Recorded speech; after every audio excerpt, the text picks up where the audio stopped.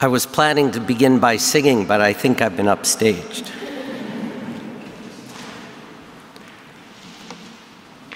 It's a pleasure to stand up here for a second time, and I have to say there's a great difference between when I stood here yesterday and when I'm here today.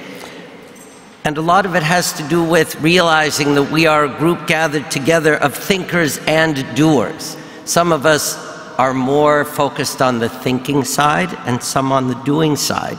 But after all that we heard yesterday, listening to the panelists this morning, mostly colleagues in the museum field, it was really interesting to begin to knit together some of what we heard yesterday and some of what we started to speak about today.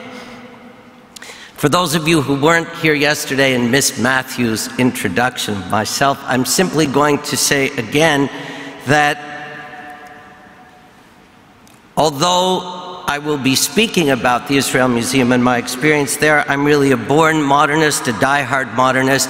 Before I went to Jerusalem 20 years ago, I thought that the cultural narrative started in 1850. I got there and realized otherwise. And the story that I want to talk about now is actually to use the Israel Museum as a kind of case study that will set the stage for the panel presentations that will follow on producing knowledge and truth. Our museum was only founded in 1967, 1965. Israel was in its teens. This is only 52 years ago. An amazing visionary who was named Teddy Kollek, who was kind of the Thomas Jefferson for a modern Jerusalem, envisioned what Jerusalem would be for the state of Israel. He saw Jerusalem as a unified cross cultural city, and the texture of Jerusalem today preserves that heritage. Teddy was born in Vienna, and the Kunsthistorisches Museum for him was a kind of model, and his strong feeling from the first day was that a city needed to have an encyclopedic museum in order to be a modern cultural capital in the world. His idea was very simple. It's astonishing to look back and to think about it. His vision was to create a museum on a hilltop at the entrance to Jerusalem, that its architecture should be a modernist backdrop, a neutral envelope where an encyclopedic narrative could be told. That architecture was created by a Russian-born, German-trained emigre to Palestine who brought international modernism to Israel. That's the main architectural language of the campus. Frederick Kiesler, the Austrian architect who came from a completely different modernist background and who emigrated from Austria to the US, created the Shrine of the Book where the Dead Sea Scrolls would be housed. As I mentioned yesterday afternoon, Isamu Noguchi, the Japanese land artist, really, you can call him today, who emigrated to the west coast of the US, laid as a wash across the Jerusalem landscape his references to an Asian landscape as a backdrop to show the development of the modern Western sculptural tradition. So even without anything inside this campus, the seeds of universalism from a modern perspective were planted when Teddy had his vision and began to realize his vision for the museum. Teddy himself was intuitive at best. He wasn't an art historian, he wasn't a museum person, but he simply was a visionary and he traveled the world encouraging donors all over the world to give collections to the museum. Again, he had no art historical background, he had no idea of the narrative that he would create. He simply wanted finest quality material, and he succeeded in an amazingly short time in accumulating close to half a million objects, which would become the museum's collections, and that would actually connect across time and across geography around the world. And again, all of this was serendipity at best. I'm showing you this image of May 11th, 1965, the day the museum opened. And you know, we all come from a different culture, but if you think of a place that was brand new then, putting this piece of magnificent international modernism on the top of this rocky Jerusalem landscape, it's something pretty extraordinary. On the stage that day, Teddy Kollek is the guy in the middle To his left is the president of Israel. To his right, the guy with frizzy hair is David Ben Gurion, a figure whose image you may have seen before. And these guys are only here because, again, you have to realize this scrappy young country was busy doing so many things, and yet the president and the prime minister managed to show up on that day to help open the museum. Al Mansfeld, who created the museum, in an instant had the idea for what to do there. If you look at the drawing on the top, it's his first sketch of an Arab village on a Jerusalem hilltop, being our hilltop. His second sketch translates that into a modernist modular vocabulary that would establish the museum and would allow it to grow over time as the village would grow. And down below, you see the east elevation, that same elevation of the museum, two or three years later. And actually, for all of us who built buildings and worked with architects, this may be the only time in the history of modern architecture that you have a one to one correspondence from the first sketch to the actual realized project. If you fast forward from this moment, you come to 1996 when I arrived at the museum, as I described yesterday, I started to ascend the promenade as those first visitors were in 1965. Being a modernist junkie, I was weak at the knees because I was seeing international modernism as architecture doing what it was supposed to do, which was to join site, setting, landscape, and architecture rooted to its setting to become the neutral backdrop for whatever would be inside. What I realized when I started to wander the museum was, of course, that this place with more than 500,000 objects covering time and covering geography was in fact the sort of fountainhead or the mother lode, the place where in fact you could fashion a continuous narrative from a million and a half years ago to the present. And you could do it on a hilltop in Jerusalem, a city built of its own bedrock, also making it unique, and being a city, one of the cities of the world that sits at the center of the universe. So, here in a flash, and I don't know how it is that I thought it then, but it proved out later on, here in a flash would be the opportunity to elevate the notion of encyclopedic to the notion of universal and to realize that that shift is all about context and making context for everything that's part of the story. I'll fast forward again to 2010. In the summer of 2010, we inaugurated a renewal of the museum. Out of what had become 550,000 objects, we distilled 7,000 objects that could be ordered and invented indeed to tell that continuous narrative from a million and a half years ago to the present that would indeed connect across time and around the globe and would present, in fact, for our purposes this afternoon, a case study for producing knowledge that uses the material cultural vocabulary and for producing truth by beginning with a certain idea and letting that idea unfold through material culture over time.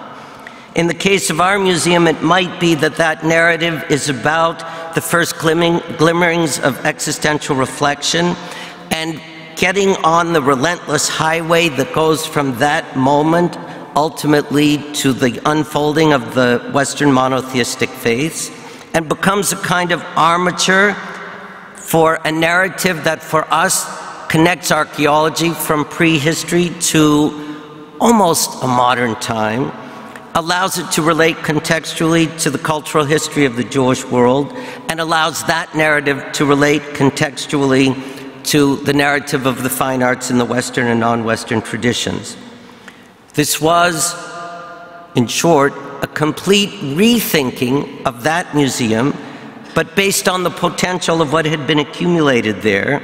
It was physically a complete re engineering of the museum, but it was also about using original materials and finish finishes and keeping the spirit of the original intent of the first image that I showed you.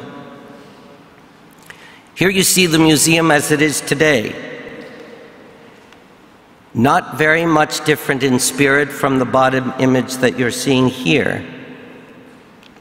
Here you see the expanse of the museum's campus. I described yesterday afternoon the sort of breathlessness of the opportunity which we all don't have, but the opportunity of a site that expands, in this case, across 20 acres and in a setting and in a geography that adds to its meaning. In the re-engineering of the museum, we created a kind of central place. Of course, we call it the Cardo being the place from which you can begin an archaeological narrative that begins at the beginning, passes through time, connects to the Jewish world cultural narrative, connects to a fine art narrative.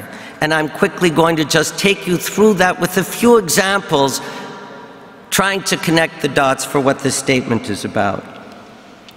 Each wing begins with, with you know, you can write anything you want on a wall, and in our case, we do it in three languages Hebrew, Arabic, and English, but no one reads.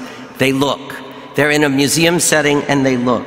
And at our place, as you enter each wing, the statement is always a statement that becomes pervasive for your visit to that part of the museum's holdings. In this case, you enter archaeology by looking at these anthropoid sarcophagi from 1500 BC, which are the moment when those Canaanites and those Egyptians happened to follow the same ritual practices and have the same aesthetic vocabulary. In this case, with regard to how they practiced burial. As you go through the wing, you follow the narrative that I described. Here's the moment when those Canaanites, almost at that same time, having listened to Akhenaten talk about worshiping one force, in this case the sun, not many forces, and this is just a nanosecond before the beginning of monotheism that would lead to the forming of, of First Temple theology. Here in the Byzantine time, you see in a pretty magnificent setting a moment in the ancient land of Israel where formative Christianity on the left, formative Judaism on the right, and the seeds of Islamic practice just at the bottom of the image all are happening concurrently in the ancient land. And this narrative continues until Islam migrates to the east, and we end with Islamic art from Isfahan from the 18th century. So it's a story that begins in the land, is about religion, and moves until it moves far to the east to this flowering of, of Islamic art, a collection that has been part of the museum since it was founded in 1965. You move from here to Jewish world culture. Our point here is to look at Jewish world culture worldwide. So it's about East and West, it's about secular and sacred. We begin with the cycle of life birth, marriage, and death, points that are essential to religious theology in any practice. As you go through the wing, you see this merging of East West sacred secular. We also have synagogue interiors from three continents from Europe, from Asia, from the Americas. Again, to give a sense of how practice adapts as it moves around the world and to relate to the point of migration, something that for us has always been a subject and which now, of course, for all of us is a subject in a different way.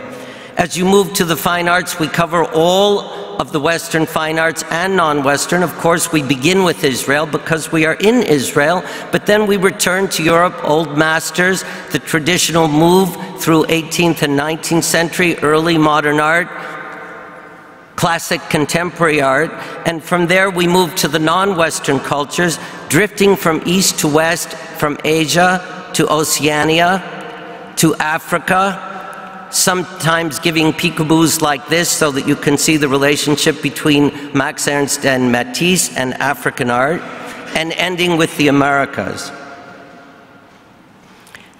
And at the end of that narrative, you come outside to the Isamu Noguchi Garden, and here we really do track the history from modern Western sculpture at the late 19th century to contemporary work, and here you just happen to see uh, from the minimalism of Sol LeWitt on the right to the maximalism of Doug and Mike Starn on the left. So, for us, this is not just a landscape, it's not just a museum, but it's a laboratory for strategies relating to many of the subjects that we've all been discussing. Now, to shift to talking about complex political times. Somehow, in our setting, we feel that we're not about complex political times. In fact, we feel very strongly that we need to be the antithesis to that story. We are in Jerusalem, one of the centers of the universe. We are in Israel, which is surely at the center of today's geopolitical complexity. But we don't feel that we are there. And actually, I don't feel that I'm here to discuss geopolitical complexity.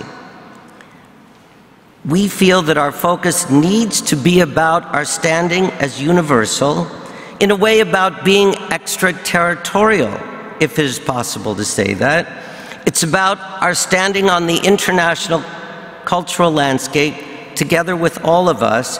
And we feel in this respect that, particularly for us, our mandate is to lift those ever changing geopolitical demarcations that riddle the globe more and more and to tell the cultural narratives that emerge from the landscape beneath, and to deliver messages that are perhaps relevant to an understanding of what is happening in the world today.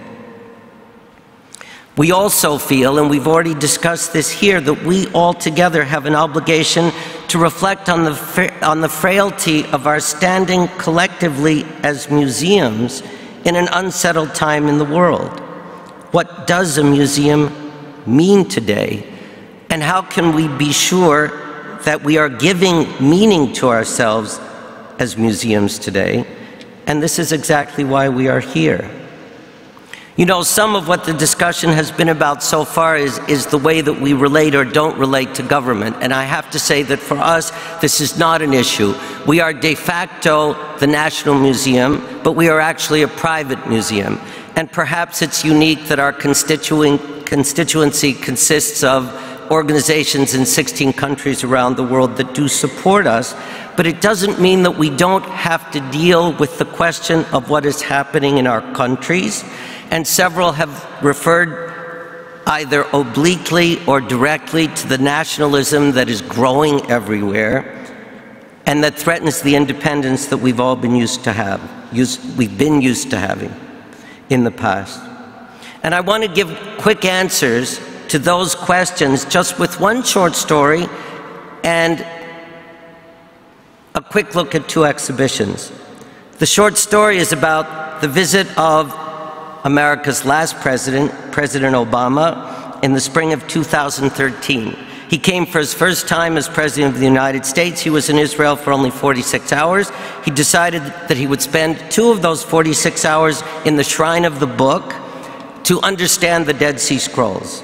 Those of you who know about the Dead Sea Scrolls may know that doing so was a kind of lightning rod move to understand the roots of the intercultural religious heritage that begins in our part of the world the Dead Sea Scrolls are foundational for the Hebrew Bible. The Isaiah Scroll is considered by Orthodox Christians as the fifth gospel.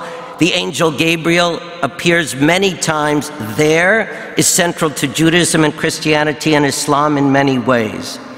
And for President Obama, it was a quick absorbing and a quick understanding of the meaning of that deep rootedness from this place.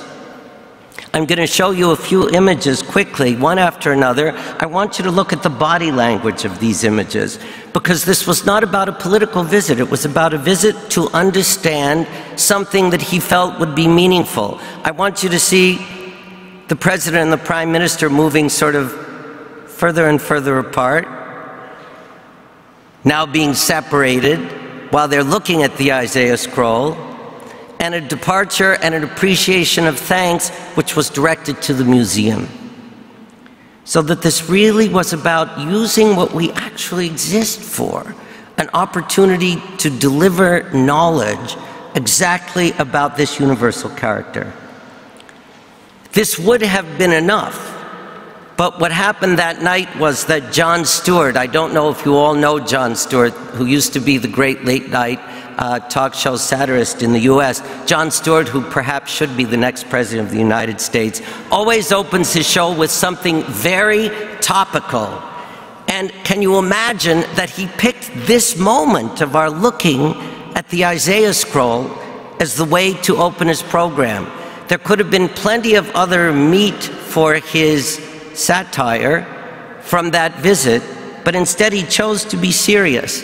And this allowed the message that I've just described to go out, of course, in the media and the social media, become viral, and give celebrity to this point about being the antithesis to the politics of the moment.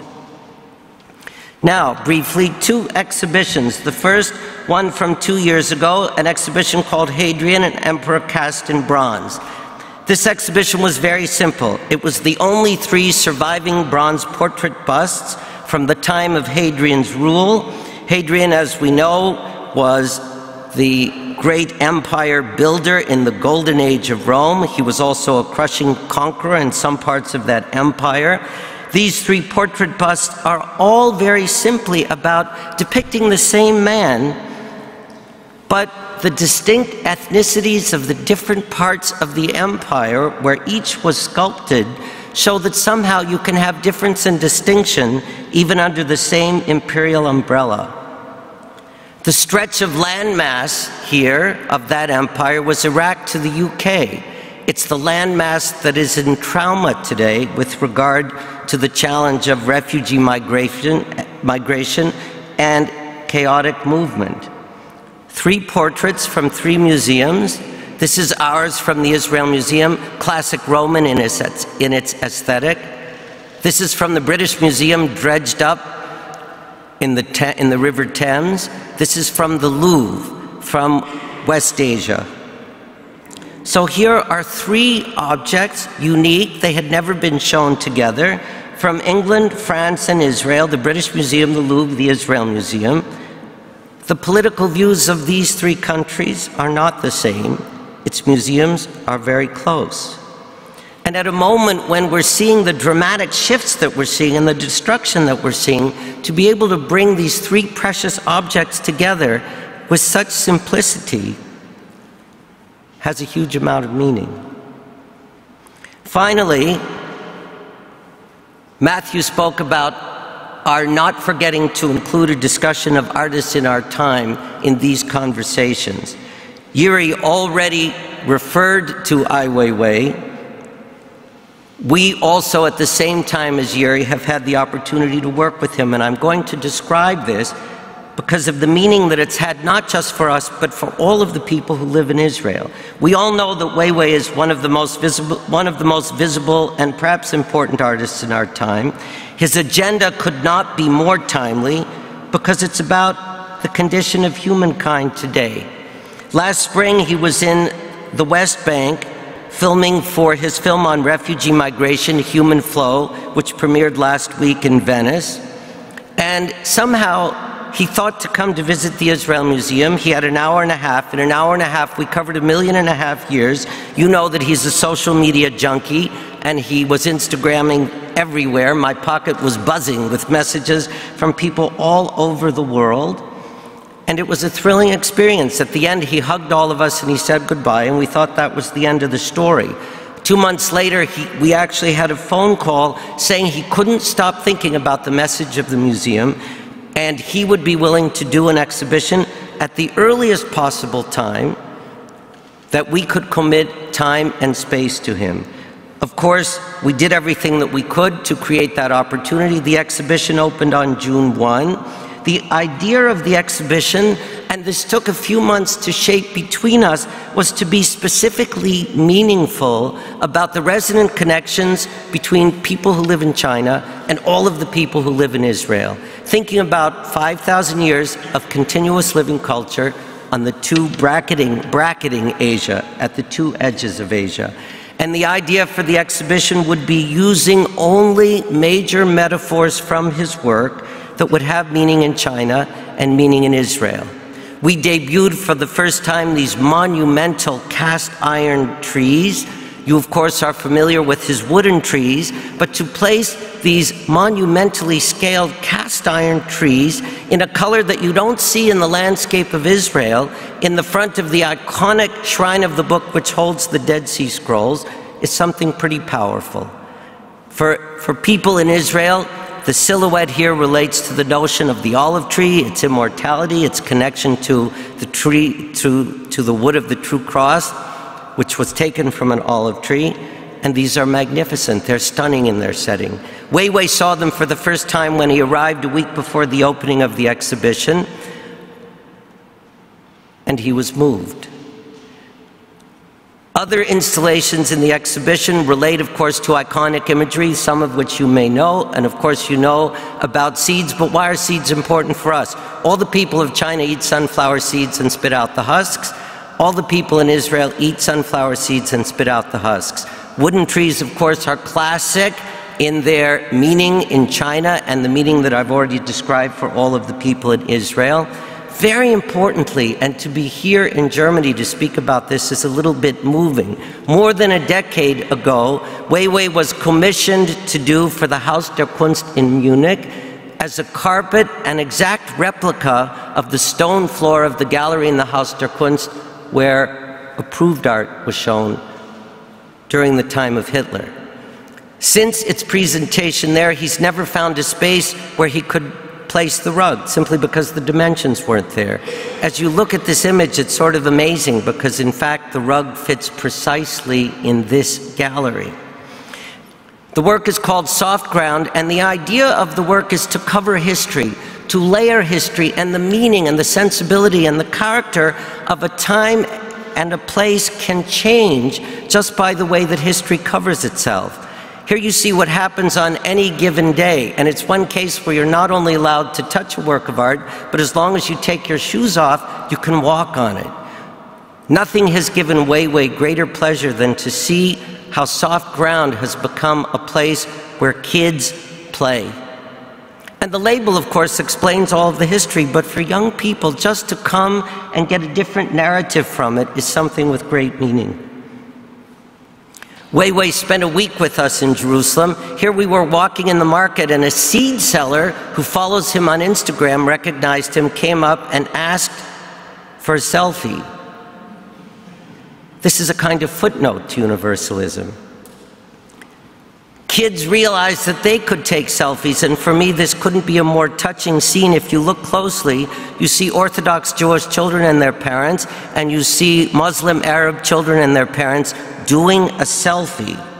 And this is all about us and our audiences and the notion of bringing every community together and having them use the museum. The experience for kids of soft ground, the experience of taking selfies, they come up afterward and they say, this is a beautiful place. Perhaps it's part of our mission for everyone from any community to come to a museum and leave saying, This is a beautiful place. So I close with an observation about today and this growing epidemic of feeling separated, of not feeling together, this notion of geopolitical isolation and for us, the reverse. What we hope that we are having is the collective experience as players on the landscape of world museums, and that as we sit here and talk and as we work together as we go forward, we need to realize the ever greater power of joining objects under our custodianship to take messages about cultural connectedness from our landscapes out into the world, and at this moment, out into a fractious world. And if one needs to give a mandate for universal museums today, I would say that that is it. Thank you.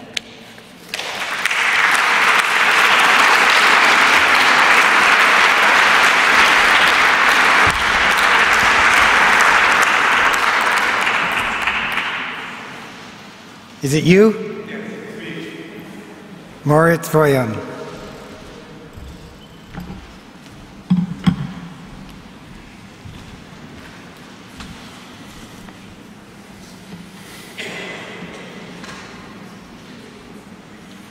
Hello, my name is Moritz Wullen. Thank you for having me here. Um, in the next 15 minutes, I will have some thoughts on the question how universal can a universal museum be? Um, it depends, I think. It depends on its social intelligence and it depends on its social skills. And in the next 15 minutes, I will outline some aspects which seem really basic to me.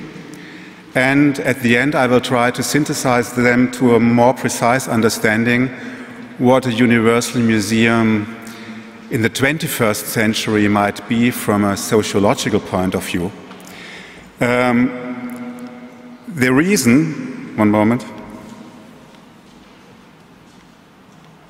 Yes.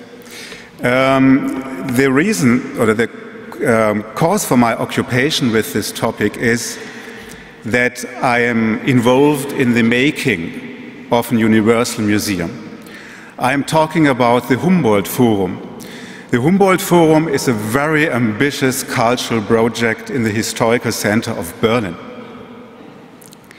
This building under construction vis-à-vis -vis the Museum Island with its wonderful archaeological and art collections will be a joint event, exhibition and museum platform of the national museums, the Humboldt University and the City Museum of Berlin. And a key element of this Humboldt Forum will be the ethnological collections of the national museums, which have been showcased for decades in the outskirts of Berlin and which will now move to the historical center of Berlin as soon as the Humboldt Forum is opened. And the guiding idea is that the Humboldt Forum, together with the Museum Island and together with all the other museum locations in Berlin, will constitute one unique universal museum.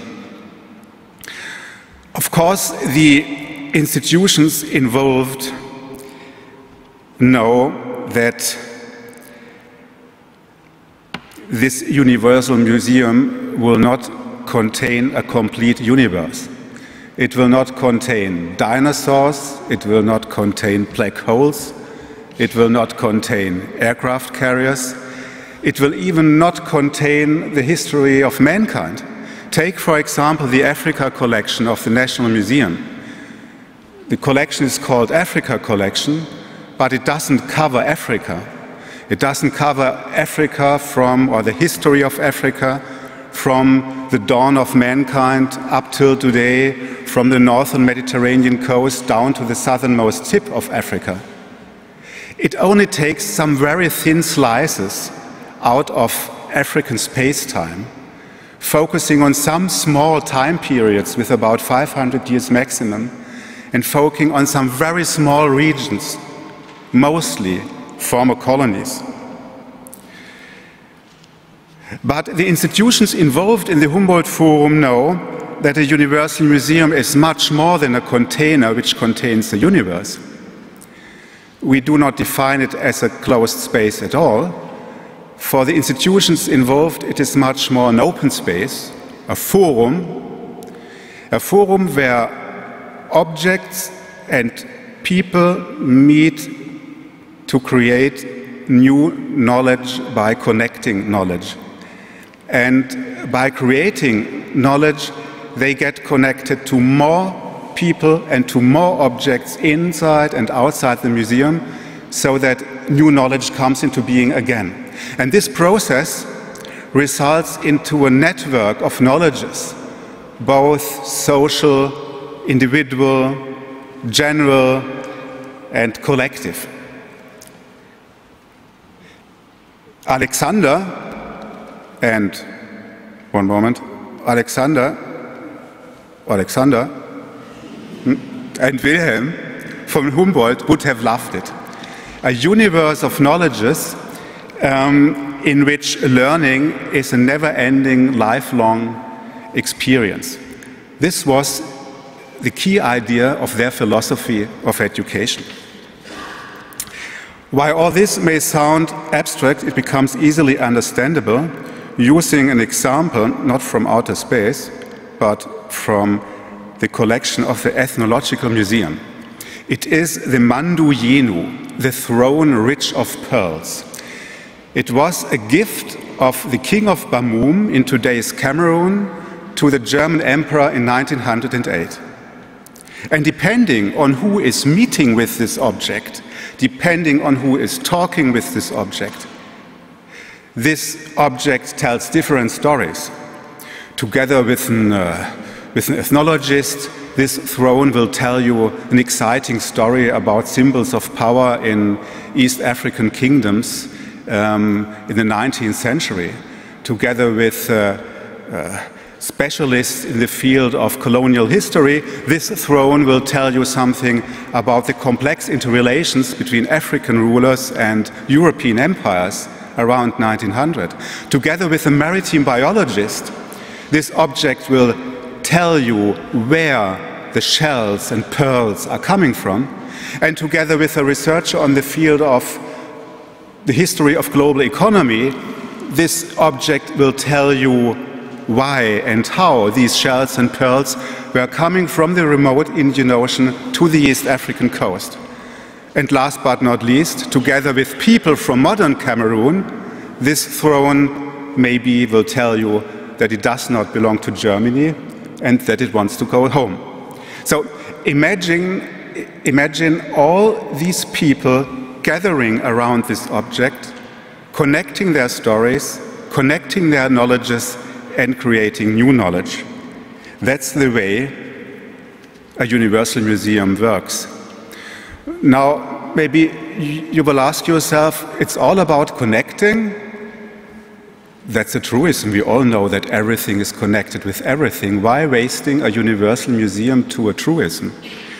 But let's be honest, we all know somehow by media, friends, colleagues, and so on, we all know somehow that we are part of a bigger picture and that we are connected to a world with global processes.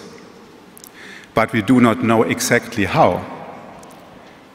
You can prove it by asking yourself if you can give a concrete example how your local individual life now here is connected with the world of global processes. It takes you a long time to find a satisfactory answer. The reason is that we all do know somehow that, but not exactly how. And knowing that without knowing how is not really knowing. It is much more believing. And that's the reason why a universal museum, which creates new knowledge by connecting knowledge, is far from being trivial.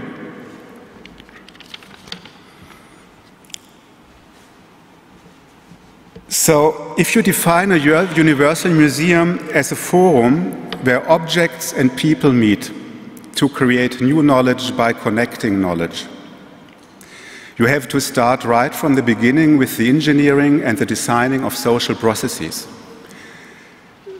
You do not create a universal museum by inviting big universal minds to create it.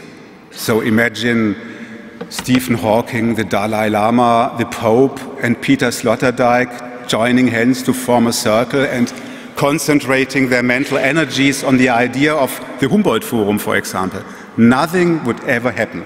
It will never make pop. So you just have to create a situation in which objects and people can meet,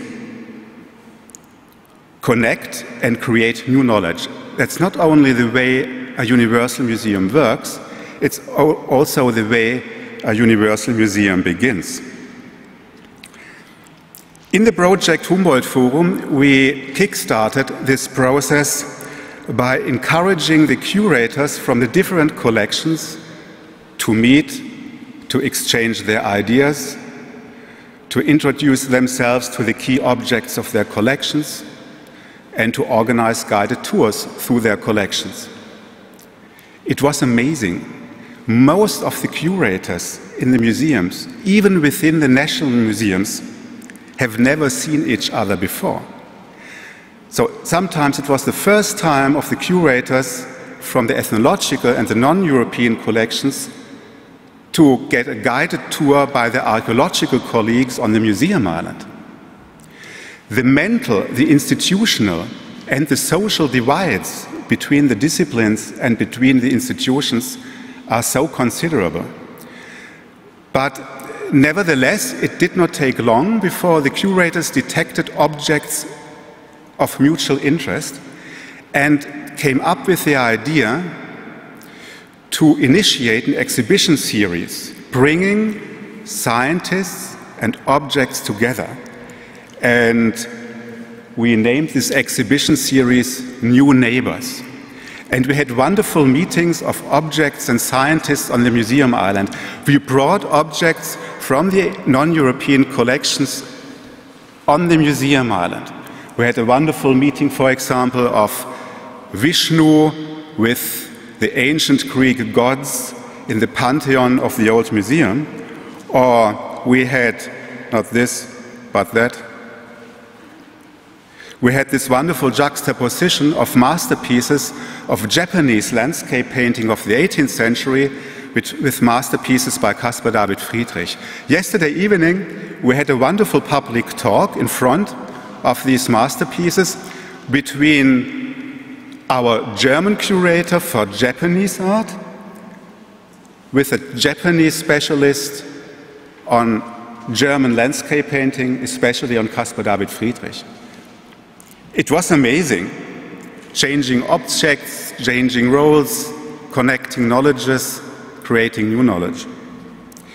In addition, we created a contractual and organizational basis for the permanent exchange of the curators of the national museums with the natural scientists of the Humboldt University and the curators of the National History Museum. The point is that all objects in our collection are both part of a cultural history and a natural history. And if you want to bring these histories together, you have to bring the scholars together. And for that, you need a contractual and an organizational basis between the institutions. We tested this, we made, it, we made a test with uh, anthropologists, natural scientists, archaeologists, art historians, and so on in our Humboldt box. The Humboldt box is our small testing ground for the future exhibitions in the Humboldt Forum. And uh, we brought them together. We gathered them around one object. It, is, it was a dried mummy from Peru, from the western coast of Southern America, thousand years old. And then together, we created a mind-blowing story connecting all sorts of knowledges. We told a very complex and amazing story about the interrelations between death cult, religious beliefs, ecological situation, climate, climate change, sounds of nature, sounds of music, and so on. It was like a universal museum in a, in a nutshell. If you define a universal museum as a forum where objects and people meet to create new knowledge by connecting knowledge, you have to include all people, not only scientists. And there are a lot of people who know much more about the objects than scientists do. That's the reason, for example, why, um, our, why our ethnological curators are in permanent contact with individuals and communities worldwide who know much more about where the objects came from to Germany, how they came to Germany, and who know much more about the social, cultural, and ecological context of the objects. And if you invite, if you want to invite all these people to come into your museum, in your universal museum, to share their knowledge with the people in your Universal Museum, with your audience, with your visitors, then of course you need an infrastructure which goes far beyond a classical museum. For this reason, the Humboldt Forum is a combination of museum, exhibition, and event platform.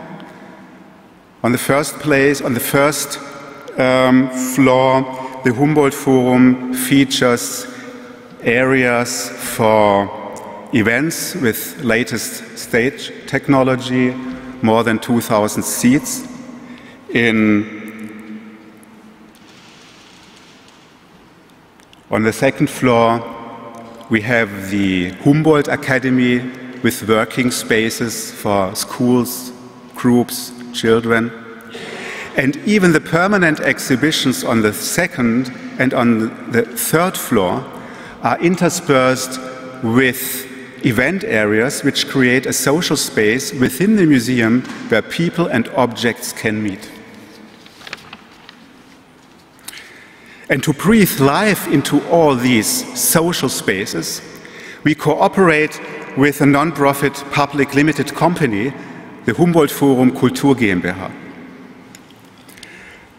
Of course, a universal museum of this dimension has its physical limits.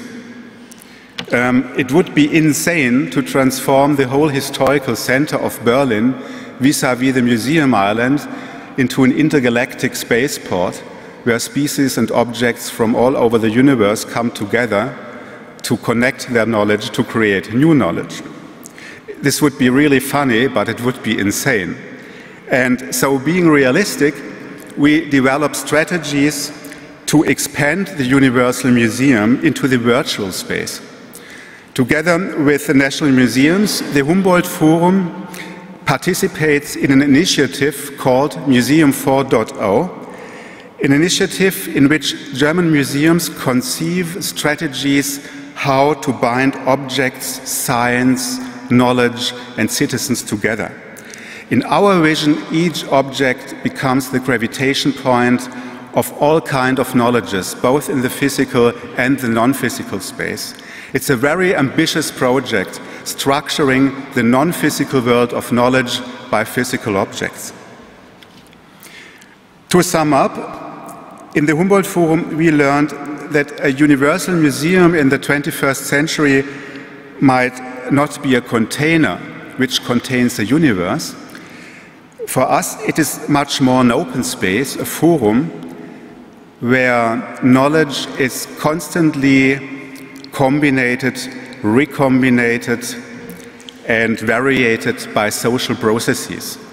So a universal museum defines itself not so much what it is, but by what it wants to become.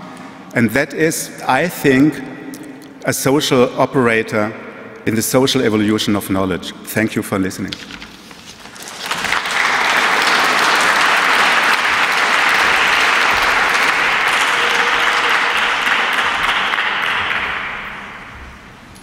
Thank you very much. Now, Carl Sigberg Rieberg.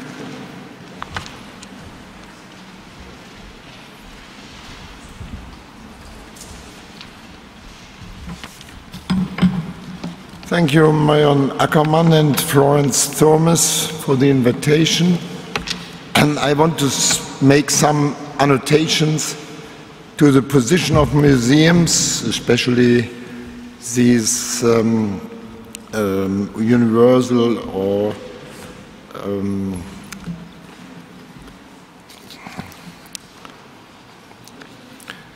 other museums of knowledge in relation to public conflicts and their possibility of interventions. Without any doubt, it's praiseworthy to ask about the role of encyclopedic museums in political complex, or perhaps it would be better to say politically disturbing times. And for sure, it's important for cultural institutions to turn against the hatred of strangers, the new nationalism, and so on. Therefore, the coordinated defense of the leading cultural institutions of Dresden against the claims of the Pegida movement during its peak was quite impressive. Even though the idea to turn the fact that the staatliche Kunstsammlungen are a home and guardian for many foreigners into rhetorical ammunition, ammunition against right-wing phrases and claims was really witty, the question if this does not provoke some disquieting insights at the same time remained undiscussed. In the meantime, the short form seems to experience a reflexive expansion as the program text for this international colloquium is demonstrating, clearly addressing an urgently needed self-related clarification of museums' facilities. Museums as institutions are not merely organizations, but also embody certain always controversial guiding ideas and orders of knowledge.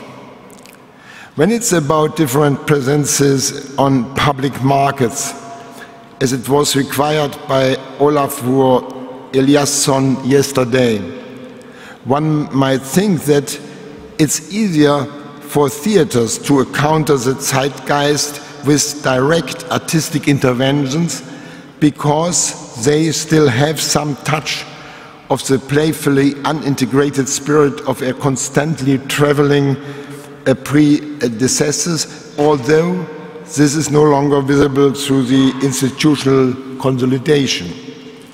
One must not only think and the actors of the theater who stood outside of the estate-based society order, but also of the catharsis of the Attic theater of Schiller's idea about the playhouse as a moral institution and so on.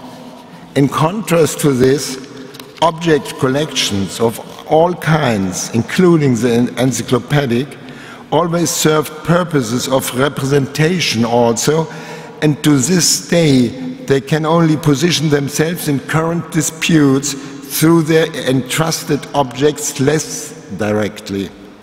It was therefore required to develop new reflexive offers which also have to influence the daily work of museums. In case of the Staatliche Kunstsammlungen, this is very urgently to consider since the recent integration, especially of the ethnographical collection of the Grassi Museum in Leipzig and other um, collections uh, some years ago. New and difficult tasks are coming alongside with this integration, so the Kunstsammlungen has to deal with it in a conscious way, especially before the background of a worldwide, often emotionalized conflict. I, for example, do not mean demands such as the recent ones, according to which the showing of objects that came to, to the world's rich countries through a long history of oppression should be completely forbidden. This would only cause a different type of concealment of the historical developed collections, although a return of objects which are interpreted by the indigenous cultures not as objects, but as perhaps ghostly subjects, seems at least to be worth it in consideration.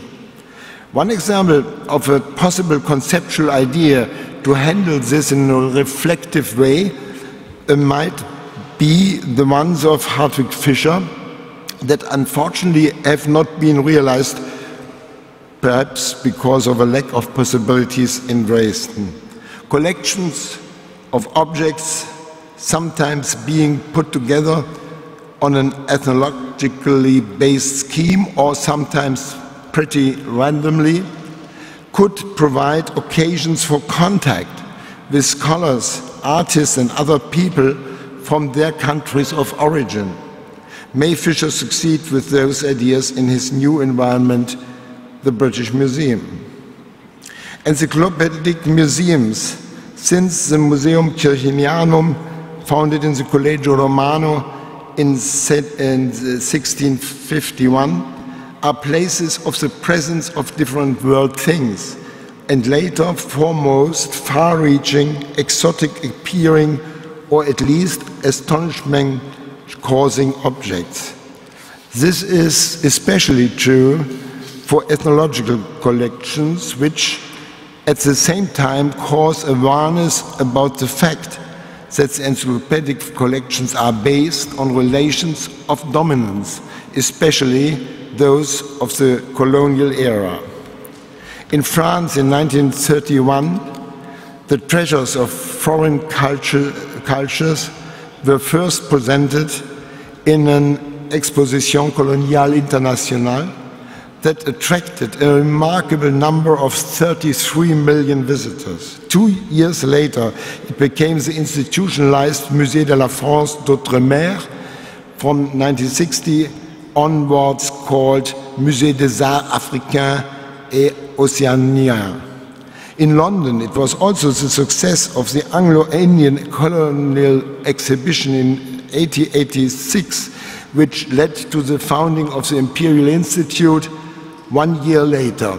It was important for the French exhibition to suggest that the colonial empire should be viewed as a humanist, a humanist mission so as to confront a German criticism which had denounced France as exploiters of colonies and perpetrators of racial shame and decadence. Nevertheless, a museum of the same kind was built in Berlin uh, Moabit during Germany's own short but also many victims demanding colonial phase. Here, however, not in form of a public institution, but organized by a private holding company. Another hang-up were the so-called Völkerschauen, as, for example, exhibited by Carl Hagenbeck in Animal Parks. It's an interesting paradox that in comparison with a lot of traditional ethnological collections, with their style of presentation that reminds on of their endless strung of usually found in depots, the Musée du Quai Branly in Paris brilliantly exhibits singular objects, additionally often explaining their original use, besides the wonderful, uh, wonderful presentation of individual objects, this impressive house any, any, any, also, ver, ver, ver, vernichtet, annihilates all colonial origins, which are not even indicated through the slightest historical explanation. Collection served the sovereigns, in the case of the British Museum, the Parliament, later also individual or association bounded self-evaluation. They became a decisive medium of the first princely, later intellectual world disposition. The art museums became the leading institutions in collecting and showing, combined with a long history of them opening up for a common public, which was first circumscribed, later generalized, and then, as a second factor, scientification.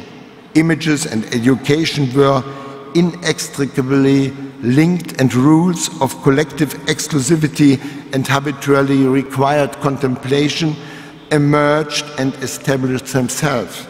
Museums have become places of knowledge, and collecting had to become universal, at least in certain areas. In modern times, the splendor and the validity of museums combine traditional values with market dynamics. This was especially evident in the museum boom that has turned these honorable houses into event motors. So, what can cultural institutions, especially the, the uh, encyclopedic collections, accomplish in these certain matters?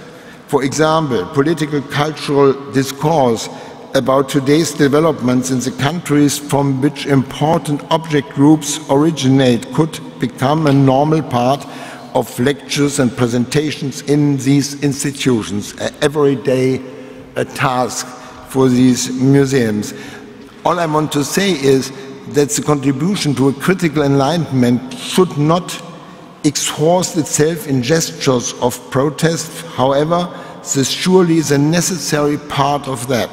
We have to raise an awareness of the circumstances that those institutions shape the feelings of identity in a city or region because of their charisma and take into consideration that they therefore are appreciated even by those who have never entered them. Nevertheless, they can be conceived as mere symbols of the established power in certain conflict situations, as one could observe well by following the development around the Pegida discourse and opposition. After their public alignment for a culture of welcome, in the eyes of the right wing um, Uh, people, the cultural institution transformed remarkably frictionless from a symbolic homeland, in Dresden, for example, into hostile areas. I'm not saying this to discourage such a truly welcome partisanship, but it's important to understand this for being able to prevent the illusion that the prestige of the institution at itself has to convincing force in agitated political discourses and disputes. The discourse that we have had here in the splendid building of the former Sächsische Kunstverein since yesterday are in every detail, and this is also to um, remark and to reflect, in every detail, I would say, a contrast to the right-wing politicians and those who feel like they are represented by them, and not only um, by ideas, but also by the social position. It was an encouraging word said by James Snyder yesterday about us having to face difficult times with idealism and a little touch of naivete. But we should not be that naive, not consider our own social position. After the Trump election, liberal intellectuals outbid each other worldwide in self-condemnation as it has been displayed in many gazettes. They admitted to themselves that they might have lost their way by losing their eyes and ears for the people. Um, for example, another aspect of this um, self-critique was Liam Gillick's um, blame for cultural, for artists and other cultural activists, um, that they have failed to raise their voice against the Brexit.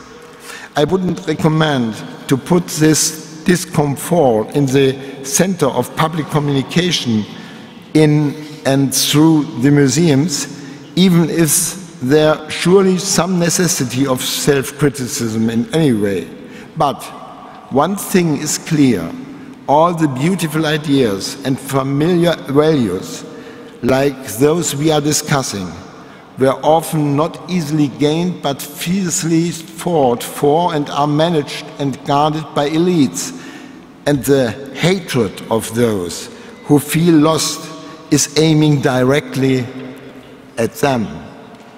This does not mean to completely disregard the public effective effectiveness of cultural institutions, but to always remember that one must not be deceived by one's own, sometimes misinterpreted position. Most of those elites belong to small, is the small mobile class, as the sociologist Lord Dahrendorf called it, um, even if they are um, uh, while uh, called it while most of the population is relatively immobile even if there is some certain kind of holiday mobility. To take the museum's own histories and objects, their presentation and self-examination in a critical way might be a key to strengthen their role in socio-political discourses. Finally, I want to give a very recent example from a time which is neither temporally nor culturally far distant and that surely lies below the level of an encyclopedic representation of the world. I'm talking about the banishment of largest parts of artworks originating from GDR times in the collections that Staatliche Kunstsammlungen and not only here, which is rightfully filling a lot of people with bitterness today. This was never attempted to be truly worked out, but rather displaced than discussed, just as if the former brothers and sisters from the East were way more distant and more disconnected as Australian Aborigines. This is all the more problematic uh, of us should be aware the difficulty of making museums places of public discourses, as it was demanded in 1968, for example, when the temples of art, as it is inscribed in the tribuna of the Dresden's Old Master Gallery, should become learning locations. But especially in GDR, with its attempt to shut down every possibility for public criticism, art became, paradoxically, in the official state exhibitions, a function of discussion of social and political misdevelopments in front of the pictures. Finally, the officials, the officials even called for problem paintings, and so far the neglecting of the artistic traces of the state socialism also shows a pattern of dominance now between the so-called Wessis and the so-called Ossis, or over the so-called Ossis. Um, we heard with wonderful voices the anthem of the GDR. And interesting is, it was since the 60s forbidden to sing the anthems because of the line of verse Germany, United Fatherland.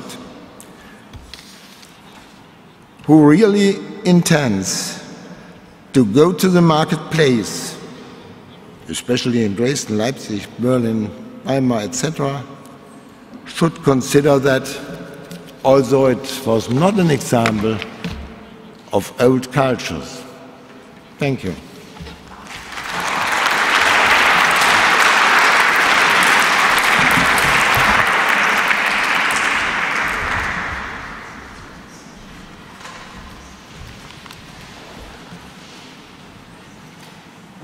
Thank you so much. And now Ciraj Rassool.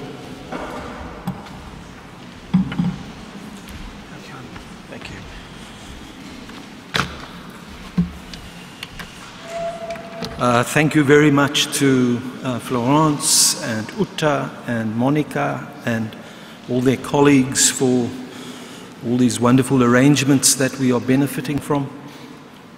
Um, the terrain of debates about the future of the museum and of museum objects is not merely about a nationalist contest over the most appropriate national location for them to be held or cared for.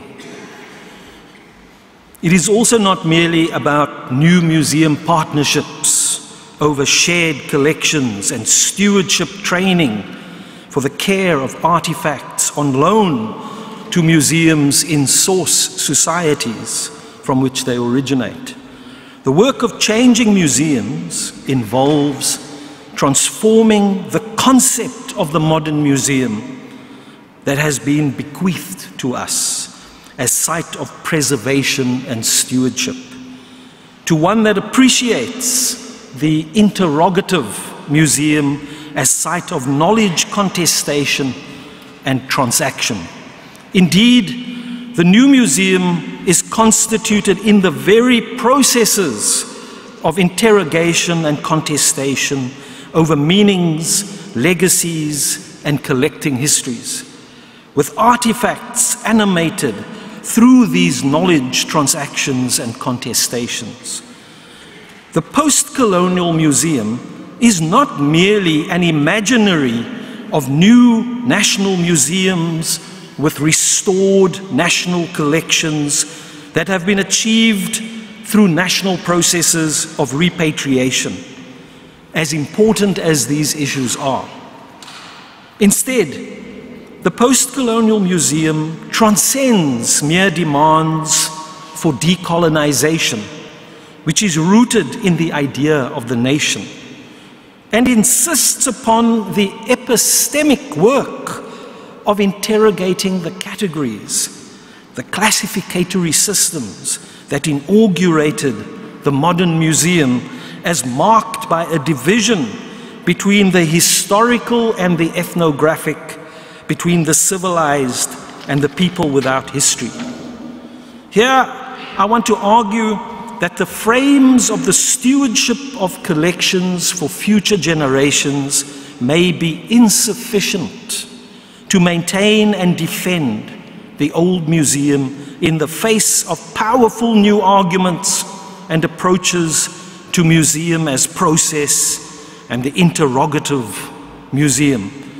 These new arguments do not merely seek the geographic reorganization of collections along national lines, but demand that old museums seek a new authority for these collections in their relationship with source societies.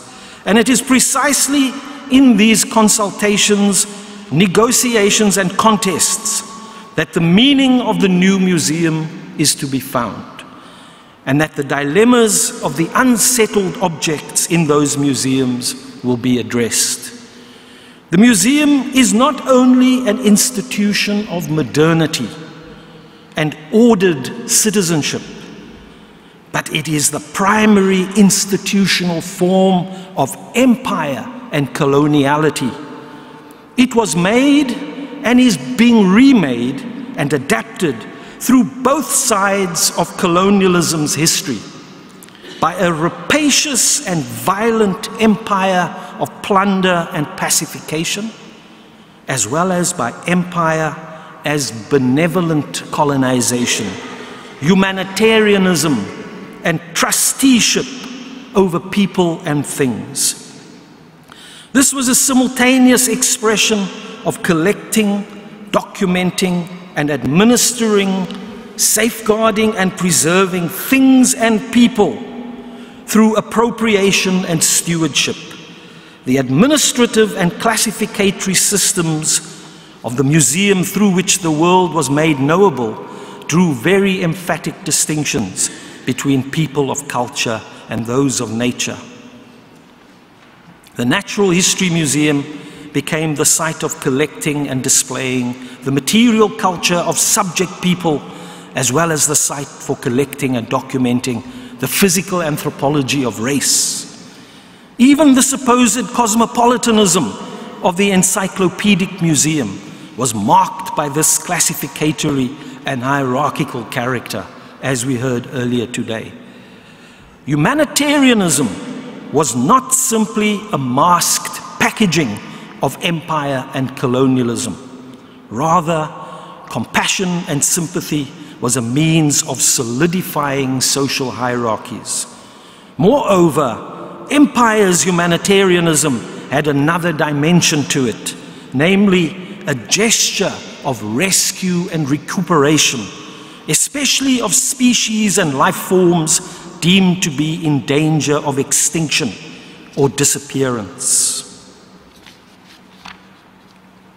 The major challenge posed by colonialism is to move from an understanding of colonialism as time and colonialism as place, as formal system of rule, to an understanding of coloniality as epistemology, as a politics of knowledge. Another challenge is to move from an approach, for example, to German colonialism as a subject or a topic of German history, albeit examined in detail recently in Berlin, to one which recognizes the extent to which coloniality marks Germany in quite profound ways. So while Germany might have had a brief experience of colonialism, this made one of the, which made one of the leaders of the Humboldt Forum to suggest that as a result, Germany is relatively untouched by colonialism.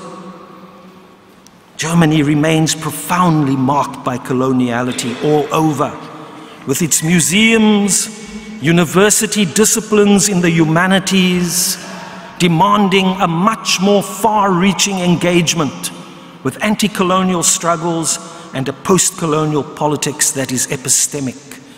New museums seek not only to present objects differently, but to inquire into their value, meaning, and social life in a post colonial world. This museum inheritance posed challenges for healing a society. This museum inheritance in South Africa, which was shot through with this kind of classificatory system, characterized by a division between the people deemed to have culture and history and those deemed to have tribe as well as the physical features of race. This is the inheritance that has posed challenges for healing a society from the ravages of colonialism and apartheid and for building a democratic non-racial society. How could these old divided national museum collections marked by colonial classificatory divisions, become museums of the new non racial nation. What did non racialism mean for the classification system? What did it mean for the museum infrastructure? And what did it mean for the administration of collections and artifacts that had been segregated? And so, a new flagship national museum was created in Cape Town out of an amalgamation of the old previously segregated National Museum collections, Iziko Museums of South Africa. And part of the amalgamation and the integration of the collections meant that a new collections division was created, which was simply called social history. A new storage facility was also created for these conjoined collections. This new collections building was not merely a new store, but rather became the site, I think, for an internationally significant epistemological project of taking previously segregated cultural history and ethnography collections to do the collections management work of placing them within a single collections division. This epistemic work also has to pay attention to labeling and object biography in ways that remove administrative racism while showing the history of race and ethnicity in labeling. And out of this process, it has emerged that the ethnologisch, as it is called in German, has no place in the museum landscape of South Africa's future. In the same way as when we hear discussions in Germany make use of the idea of non Europe, the non European, it does violence to the way we think about our humanity. So, just as one problematizes race and ethnicity in the history of the administration of persons, so one has to think historically about the categories of the administration of museum objects and collections. As much as we can identify how artificial and constructed ethnicity is, we need to be able to understand how ethnicity and ethnic categories themselves have history. Colonialism has also often had the effect of removing people from any sense of indigenous continuity with pre-colonial societies. And it's been, it is important to understand how new expressions of a politics of indigeneity have been emerging in which people have sought to narrate their lives in new indigenous terms and where this indigeneity is the basis of a new and aspiring modernity, sometimes even expressed as the recovery of indigenous knowledge systems. And for this, an older language of ethnography has sometimes been employed that draws upon the research and publications of the old colonial anthropologists for assistance. As part of the transformation of the old museum collections in, at Iziko Museums of South Africa, the collections of the dead whose bodies had been stolen from their graves or had been acquired for the purposes of racial science were removed from the collection under the new terms of a human remains policy and set aside in special no access stores until such time as a national policy comes into operation. And after that famous South African Museum display, the Bushman diorama was closed down, a decision was also made that racialized body casts should also be considered as unethically collected human remains.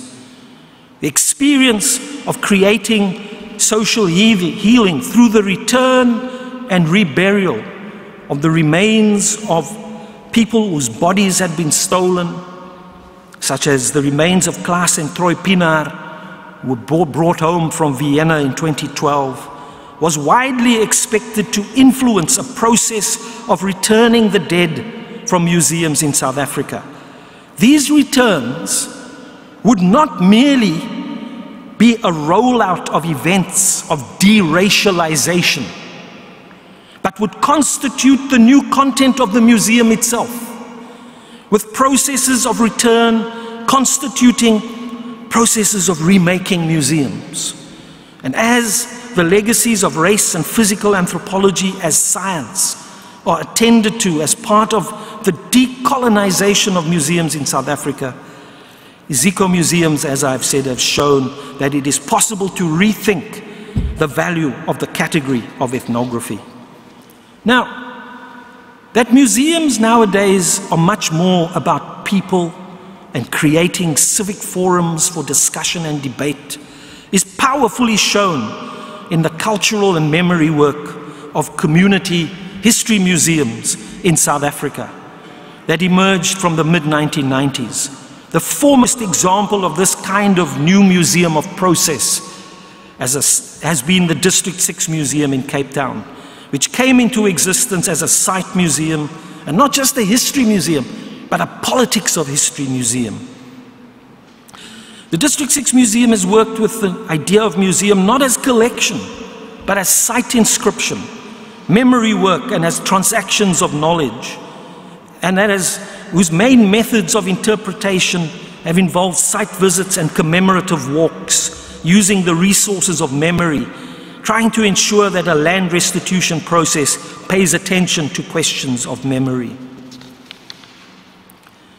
Now, the Post Ethnographic Museum and the Museum of Process both point to the possibility that the modern museum as the world has known it, which emerged as part of the making of the modern person, and that coincided with the colonization of the world, may have outlived its value. Yet the Post Museum can only be the outcome of a sustained engagement with the basic museum work of collecting, conservation, exhibition, and education in ways that enter into battle with the colonial concepts of race and ethnic group that seem almost naturalized and frozen into who we are. In general, it is critical to think about the connections between the administration of people and the administration of artifacts into the, in the museum, and to rethink society and to rethink the museum at the same time. What we are talking about in this questioning of race, ethnicity, and ethnography is a new critical citizenship and what it means to be a human, what it means to be human in a post colonial world. In considering how the museum is changing, we need to understand how old collecting museums have been challenging themselves and how new interrogative museums of process have begun to expand museum horizons to embrace, to embrace the downtrodden, the oppressed and exploited of the world, whose experiences might previously have been confined and contained through colonial ethnography and even a denial of coevalness. This focus on local and deep histories of oppression, displacement, and survival, while guarding against the triumphalism of nationalism, needs to consider the ways it offers new understandings of what museums are, as well as the possibilities for new museologies for the 21st century. To question the museum is not merely about expunging its rapacious histories and shoring up the vestiges of a remaining benevolence framed as preservation and stewardship, but requires questions posed about the syndrome of preservation itself. Transforming the museum requires understanding its history as the locus of empire and coloniality in all of its forms, and to embark on the difficult work of interrogating its collecting histories, its epistemologies, and to think about museums outside evolutionary frames and the impulses of preservation and atonement, the post colonial museum may indeed require the inauguration of the post museum itself. Thank you.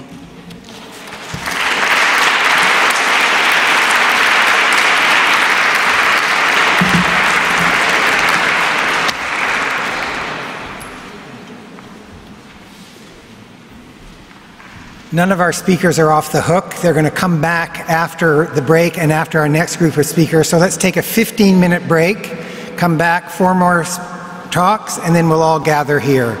So 15 minutes.